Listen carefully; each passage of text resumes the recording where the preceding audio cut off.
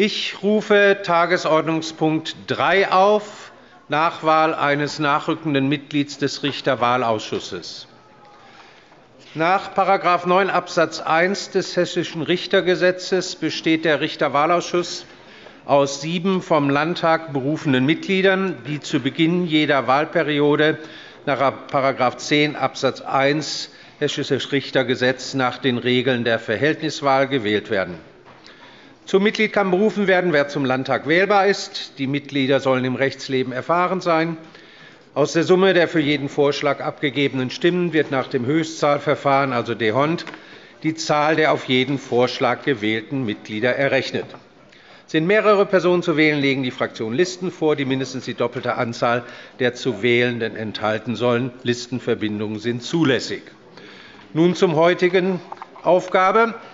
Mit Schreiben vom 10. Dezember 2015 hat Frau Abg. Martina Feldmayer gegenüber dem hessischen Ministerpräsidenten nach § 15a des Hessischen Richtergesetzes mitgeteilt, dass sie ihr Amt zum 13. Dezember 2015 als nachrückendes Mitglied niederlegt.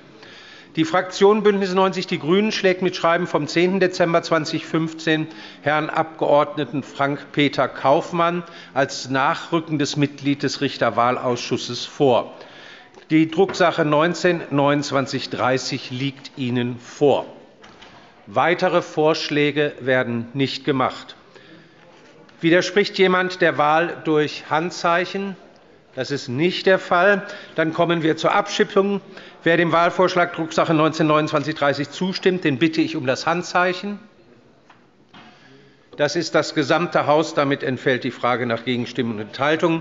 Ich stelle fest, dass Herr Abg. Frank-Peter Kaufmann als nachrückendes Mitglied in den Richterwahlausschuss gewählt wurde.